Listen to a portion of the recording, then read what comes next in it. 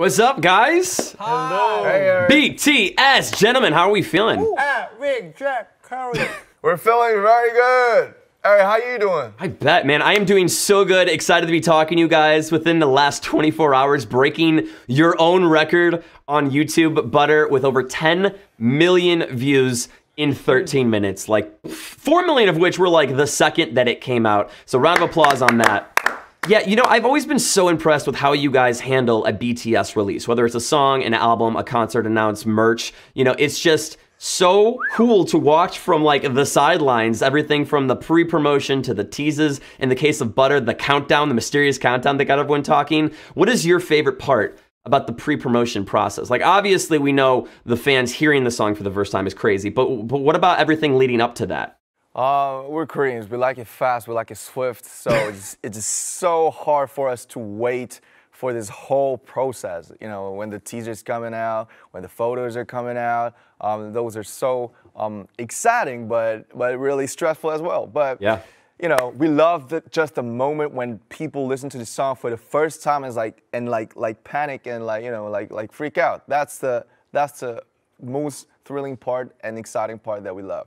Yeah. Yeah. So everything that contributes to the building excitement and the intensity up into the moment, second, instant that the video drops, and then getting to see the panic, good panic that ensues when Army hears a BTS release for the first time. So speaking of first times, you know, you guys are our first return guest here on the Spout podcast. You first appeared on our very first episode with Tino Cucino, and welcome back first and foremost. But second, I kind of have a gripe with you guys because you told Tino that you enjoy pineapple on pizza. Does pineapple belong on pizza? Everyone loves Hawaiian.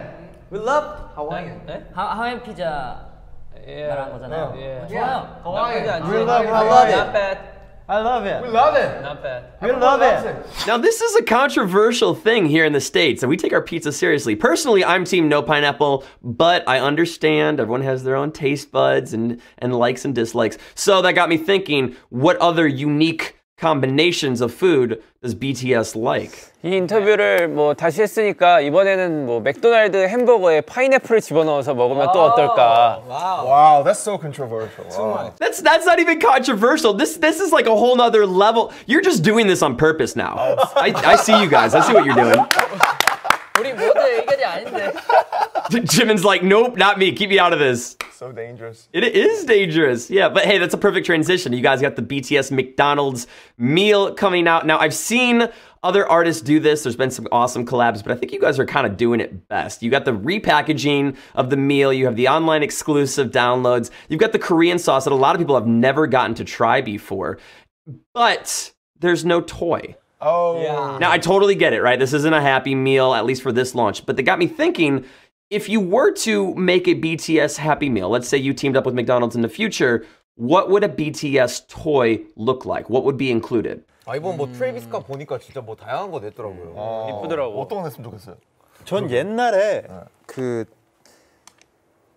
이제 맥도날드 이제 그 햄버거를 사면은 크레인 같은 장난감을 주더라고요. 크레인. 아 옛날 장난감. 네. 그런 것들을 한번 다시 한번 해보면 Great. 어떨지. Okay. I like that you're leaning into the nostalgia of the McDonald's toys too. Not something super modern, but like throwbacks. Yeah, yeah. Maybe like a fanny pack, a BTS fanny pack would be dope. Mm. You never know. You never know. And to go off of food too, we've already established the pineapple debate, so we can put that on aside for a second. But when you guys aren't on the road or going to restaurants or getting catering, what uh, what are you doing at home? Are you cooking for yourself? Are there any chefs in the group? What are we making? Jin and Suga. Maybe Jin and Suga. And 뭐뭘 잘 제일 잘 만드시나요? 저는 고기를 잘 굽습니다. 아, 오케이. 그 누구나 굽잖아. 어, 나도 고기 잘 굽는데. Medium rare, please. 아 미디엄 레어 투데이 고고? Oh yes. And sugar? 저는 저는 이제 다 잘해요. 저는 뭐 딱히 안 가리고 다 여러 나라 음식 하는 거 좋아합니다. 전국이도 잘하지. 저 김치전 요즘 빠져가지고 김치전. Yeah, I'm a I'm a kimchi fan. I've never tried kimchi pancakes though, so that would be really cool to try. You know, you guys should look at doing like a BTS cookbook or, or sharing your recipes. I bet the fans would love that. Ah, yeah. Uh, let's go. Let's go. We're just out here coming up with ideas. Yeah. Speaking of putting out things for the fans, though, you know, we already touched on the pre-promotion of the music, but before any of that even starts, when you're still creating the music, you know, obviously you guys are pretty awesome with keeping new stuff coming, but sometimes it's not as fast as some people want. The army is excited. We can get impatient when we want more BTS things, but you guys also want to get it perfect. So, what about putting out new music takes the longest? What is the hardest thing to get right? 아, 이번 버터 같은 경우는 어, 발음 때문에 시간이 가장 많이 걸렸던 것 같아요. Definitely. 버, 버러가 아니고서는 사실 모니터도 꽤 오래 걸리죠.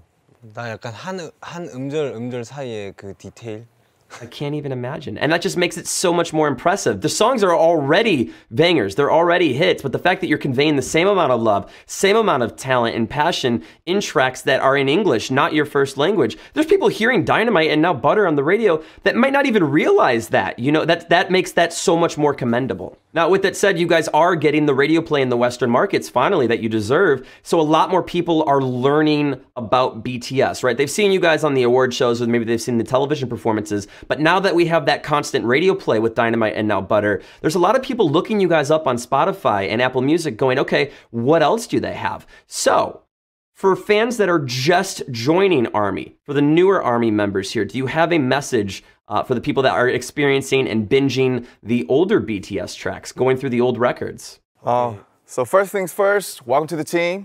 Um, welcome. And there, there are some actually some fun chapters be, um, before Dynamite. Um, there's some Dynamite chapters right now. We're, we're in like, like, like our fourth chapter, but first chapter there was school. Um, the second chapter there was kind of like a the most beautiful moment in life, and the third chapter we got love yourself, map of the soul. So there's some actually narrative that we have um, walked this way and path, and there are a lot of songs, a lot of albums, a lot of behind the scenes, um, literally BTS's and you know the videos, social media. So maybe it'll take a year to you know chase all the past things of BTS. So there's no exit, there's no kind of get out. So welcome to the team. Please don't don't go out. Have a great time. Have a great day. BTS story Just enjoy the ride. I love that. You know, experience everything that led up to this point, live in the moment, and then look forward to and get excited about the future of BTS. I cannot wait to see what's coming up next for you guys. I think that's the perfect note to wrap up on, too. You know, thank you so much for taking the time, guys. And thank you, seriously, for being our very first repeat guest on Spout. You kicked off our first episode, and now here you are back to close us out for season one. Thank you, Eric. It was an honor. Thank, you, Scott. Thank you, Alpha. It was my honor, guys. Thank you. We'll see you next time, all right?